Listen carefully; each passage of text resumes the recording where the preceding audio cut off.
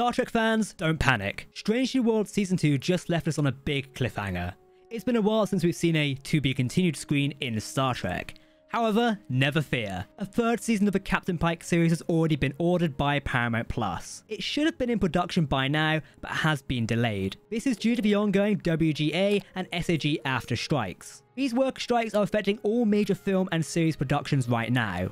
As such, Strange New Worlds is caught up in this. Until big studios, like Paramount, agree to pay writers and actors fairly, Season 3 of the Pike series is paused in development. Hopefully everything can get back to normal soon. In the meantime, support the strikes. If you want to stay up to date with more Star Trek news, lore, and more, hit that follow and subscribe button.